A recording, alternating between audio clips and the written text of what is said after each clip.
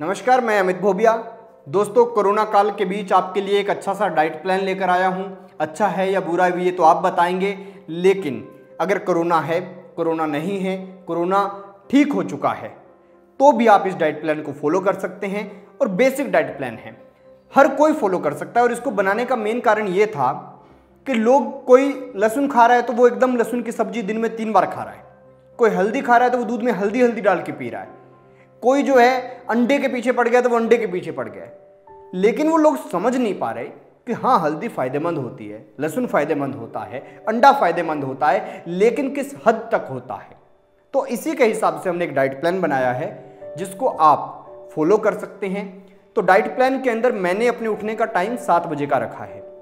अगर आप लोग दस बजे उठते हैं, दोपहर में ग्यारह बजे उठते हैं तो भी आप उस डाइट प्लान को फॉलो कर सकते हैं। नॉर्मल सी बात है, मैं ये नहीं कहूँगा कि सुबह पाँच बजे उठिए, फिर योगासन कीजिए, फिर भोजन कीजिए, वो सब बातें कहने की नहीं है। क्योंकि अगर आप रात को लेट नाइट तक कोई काम करते हैं तो आपको सुबह लेट ही उठना चाहिए। क्योंकि आठ घंटे की नींद तो कम से कम पूरी करनी चाहिए ना। रात को आप तीन बजे तक गर्लफ्रेंड से चैट कर रहे हैं, उसके बाद सो रहे हैं तो आप ये नहीं है कि सुबह आपको छः बजे उठना है।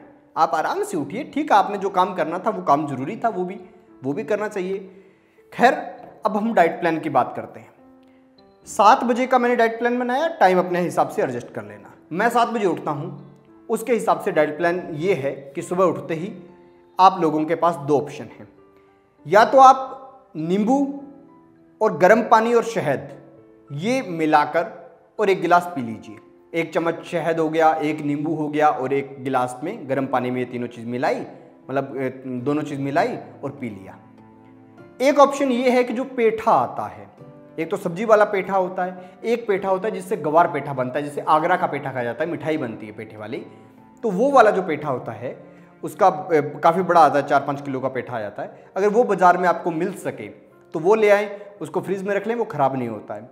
और उसका एक पीस काटा, उसको मिक्सी में थोड़ा ग्राइंड किया, उसका जूस निकाला और उसको पी लिया। वो भी पेट साफ़ करने के लिए बहुत अच्छा होता है। इसके बाद आपके पास दो घंटे होंगे। दो घंटे में आप वॉकिंग कीजिए, आप योगा कीजिए, आप योगा में कपाल भारती, अलोम विलोम, ऐसी चीज़ें कीजिए, सूर्य नमस्कार कीजिए। सूर्य नमस्कार वो वाला नहीं कि पानी लेकर एकदम सूर्य देव तक चढ़ा रहे हैं। मतलब सूर्य नमस्कार का मतलब है कि इसकी दस पोजीशन होती हैं। उनके हिसाब से आप ये मतलब अलग अलग प्रकार के दंड उसमें लगाए जाते हैं। उसके हिसाब से कीजिए, वो बाबा रामदेव का देख के वीडियो वहाँ से समझ लेना। योग कीजिए मेन मतलब ये है। और ऐसे योग कीजिए जो आपके लंग्स को, फेफड़ों को थोड़ा फ़ायदा दे सके।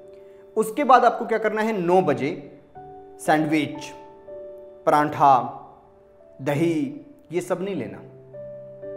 दही लेना है, पर कैसे लेना है वो बताऊँगा। क्योंकि लोग आलू, परांठा और दही एकदम दबा के खा लेते हैं, ऐसा नहीं करना। आपको सूखी रोटी लेनी है। घी कम, घी जितना कम हो सके उतना लीजिए कम। रोटी लेनी है, सब्ज़ी लेनी है, और उसके साथ में दही की प्लेट लेनी है। और उसी के साथ में अगर अंडे खाना चाहते हैं तो आप अंडे खा सकते हैं। थोड़ा हल्का सा ब्रेकफास्ट कर लीजिए। उसके बाद आप 11 बजे फल फ्रूट खाना शुरू कीजिए। 11 बजे आपको क्या करना है? विटामिन सी वाले फल फ्रूट खाने हैं।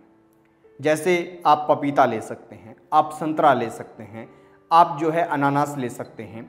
ज़्यादा अफोर्डेबल वाले आदमी हैं, वो कहते हैं ना एकदम लग्जरी किस्म वाले तो आप ठीक है, कीवी वीवी भी ले सकते हैं। लेकिन आपको अच्छा जिसके पास ये सब नहीं है, फ्रूट नहीं है, वो सलाद ले लीजिए, नींबू निचोड़ लीजिए उसके ऊपर और वो खा लीजिए। थोड़ा हल्का सा कि आपका पेट कुछ कुछ भरा हो। उसके बाद डेढ़ बजे के करीब आपको क्या करना है, तीन चपाती खानी है, सब्ज़ी लेनी है, सलाद लेना है, दही लेना है और अच्छे से खाना है। मतलब थोड़ा हल्का नहीं थोड़ा सा भरपेट अच्छे से खाना है और इसी के साथ छाछ भी ले सकते हैं, जिसको कुछ लोग इंग्लिश वाले कहते हैं, सीबीएसई वाले, कि बटर मिल्क, वो भी ले सकते हैं। इसके बाद आपको क्या करना है? शाम के वक्त में चार बजे के करीब चने भुने हुए हों, भिगोए हुए हों, बिदाम भुने, बिदाम जो हैं, वो भिगोए हुए हों, मूंग, स्प्राउट, उनके स्प्राउट वगैरह बना के जैसे उगे हुए हों तो ये सब चीज़ें ले सकते हैं, मूंगफली के दाने ले सकते हैं। इसके बाद शाम को, शाम के वक्त में आपको जब हम पाँच छः बज जाते हैं, उस वक्त हम चाय लेते हैं, चाय बिस्किट लेते हैं। तो उस वक्त आपको क्या करना है? दूध वाली चाय नहीं लेनी। उस वक्त आपको काढ़ा लेना है। गिलोय का काढ़ा ले लीजिए। कुछ आयुर्वेदिक पूड़ियाँ आती हैं, उनका काढ़ा बना कर ले लीजिए। लेकिन गिलोय की जड़ का काढ़ा हो तो सबसे बेटर है। चाय जो है, नींबू वाली, शहद वाली जो चाय होती है, वो बना लीजिए। यानी जहाँ पर दूध डालते हैं, वहाँ पे नींबू निचोड़ना है, बस उसमें लेमन टी उसको अंग्रेज़ी में कह देते हैं। वो ले सकते हैं और हल्का फुल्का बिस्किट वगैरह उसके साथ खा सकते हैं। उसके बाद आठ बजे आपको डिनर करना है। डिनर के अंदर क्या करना है? डिनर के अंदर आप हल्का भोजन लीजिए। रोटी खानी है तो एक दो रोटी खा लीजिए, सब्ज़ी ले लीजिए उसके साथ, दाल ले लीजिए। और मैं तो ज़्यादा प्रेफर ये करूँगा कि आप शाम के खाने में थोड़ा दलिया, थोड़ी खिचड़ी, ऐसी चीज़ें लीजिए। दाल बनी है तो दाल पी लीजिए। और इसके बाद दो घंटे के अंदर अंदर, दो घंटे के बाद लगभग, एक घंटा तो कम से कम गैप देना है। उसके बाद अगर आपको नौ बजे नींद आ रही है तो ठीक है, आप दूध पी लीजिए और सो जाइए। दस बजे आ रही है तो दूध पी के सो जाइए। यानी कि दो घंटे कम से कम गैप देकर उसके बाद दूध पीना है और आपको सो जाना है। तो ये पूरा का पूरा आपका डाइट प्लान है। मुझे लगता है कि डाइट प्लान हर कोई व्यक्ति अफोर्ड कर सकता है। इसके बाद भी आपको इसमें कोई क्वेश्चन हो तो कमेंट बॉक्स में आप पूछ सकते हैं और आप चैनल को सब्सक्राइब ज़रूर कर लीजिए, क्योंकि आपका और हमारा एक बॉन्ड अच्छा बन जाएगा। उससे क्या है, हमें भी मालूम पड़ जाएगा कि ठीक है, हमारी वीडियो का रिस्पॉन्स ठीक आ रहा है। तो इस हिसाब की वीडियो इन लोगों तक पहुंचानी है। तो ये प्लान मुझे लगता है कि अच्छा आपको समझ आ गया होगा और वैक्सीन लगवा लीजिए और ये गोबर से नहाना, गौमित्र पीना, ये नींबू चूसना सारा दिन, लहसुन खाना, ये सब कम कर दीजिए।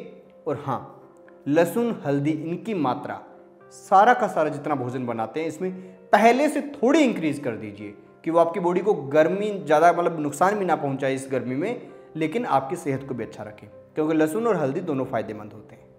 खैर, ठंडा भी कम लेना है आपको। और बाकी जो भी सवाल हो कमेंट बॉक्स में पूछ लेना।